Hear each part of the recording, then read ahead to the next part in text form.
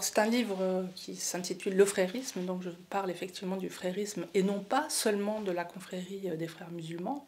Pour moi, le frérisme, c'est cette forme d'islamisme qui s'est déployée euh, plutôt dans les pays occidentaux, en particulier en Europe et aux États-Unis, à partir des campus dès les années 1960.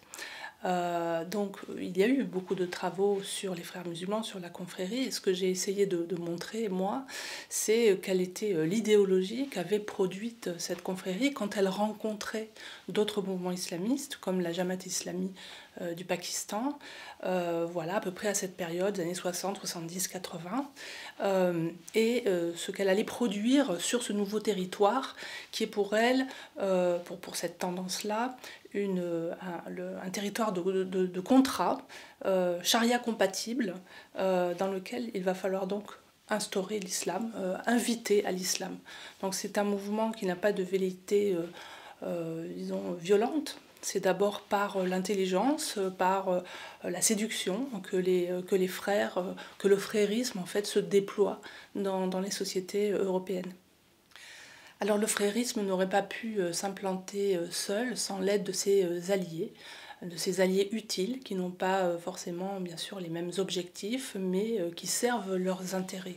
Ils ont sur ce point-là une doctrine très pragmatique qui est celle de la wasatiyya, de l'islam de juste milieu, qui est en fait un dispositif destiné à euh, à, se, situer euh, au milieu et à inviter en fait toutes les tendances de l'islam qui voudraient donc euh, qu'elle voudrait emmener vers l'accomplissement de la prophétie califale.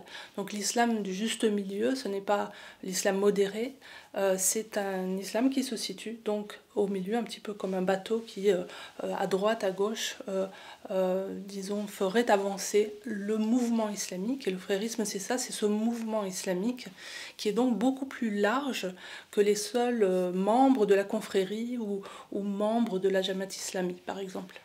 Donc le, le frérisme, c'est une vision, une identité, un plan. C'est une vision euh, qu'il faut donc euh, déployer euh, dans l'espace par l'intermédiaire bien sûr des, populations musulmanes, mais aussi au-delà. une nouvelle histoire, un nouveau futur, un, un nouveau passé. Donc être en rupture avec la représentation du temps occidental, ou en tout cas l'idée qu'ils s'en font. C'est ça, c'est la, vision. C'est une identité donc qui surpasse toutes les autres, c'est-à-dire être musulman avant d'être français, breton, etc. Et c'est un plan. Euh, le plan de Dieu. Alors il n'y a rien de conspirationniste, certains euh, me disent que je, tends vers cette, idée-là, c'est complètement faux, c'est simplement que c'est pas un mouvement politique, c'est un mouvement politico-religieux, donc missionnaire, donc y a une mission, qui a un plan. Et ce plan-là, ils ne l'ont pas perdu, euh, comme certains le pensent, au contraire, ils, sont axés euh, sur, cette, euh, sur cette mission. Donc vision, identité et plan.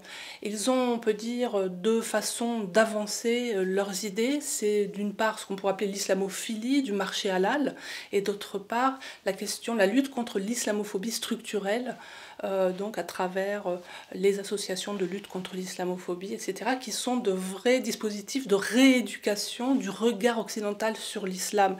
Mais quand ils disent l'islam, ils parlent plutôt du fondamentalisme salafi, et donc il faudrait euh, d'une certaine manière nous accoutumer, nous habituer à cette présence d'un islam fondamentaliste au nom des valeurs de l'universel, etc., alors que eux sont profondément séparatistes. Donc ils ont, ils jouent un double jeu, un double rôle euh, en permanence. Et ce qui est important, c'est ce que j'essaie de, décrire dans, mon livre, c'est comment ils le font de façon à ce que nous puissions, si nous voulons rester démocrates et non théocrates, euh, devenir des théocrates, euh, comment nous pouvons, à partir de cette compréhension, déjouer ce qu'ils veulent faire, au lieu de les affronter.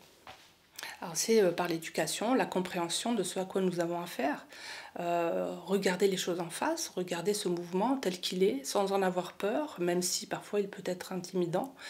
Euh, et donc euh, aussi peut-être ne pas les financer à travers certaines associations antiracistes qui, en réalité diffusent leur idéologie. Donc ne pas les financer, en particulier au niveau de la, de la Commission européenne, de, du Conseil de l'Europe, qui donne beaucoup d'argent pour ces groupes-là. Donc comprendre comment ils fonctionnent, aussi le marché halal, rendre responsables les entreprises qui diffusent la norme halal à travers les produits de consommation. Donc il y a un certain nombre de choses à faire qui, euh, qui vont nous permettre justement de mettre... Euh, alors il y aura toujours bien sûr des islamistes, des gens un petit peu des rigoristes et des fondamentalistes, mais aujourd'hui ils sont devenus hégémoniques et c'est ça qu'il faut faire reculer je crois. Alors il est vrai que euh, l'université a abrité très tôt donc les, premiers frères viendront donc ces, ces éléments importants du frérisme, ce mouvement islamique. Et donc, bien sûr, ils ont euh, diffusé euh, leur façon de, penser euh, dans ce qu'ils appellent, à travers ce qu'ils appellent l'islamisation de la connaissance. Et ça a beaucoup marqué le milieu universitaire. D'où peut-être les réticences qu'on voit aujourd'hui dans l'université à, accepter mon livre. Mais je pense que si mes collègues le lisent, les choses vont s'arranger, je le pense.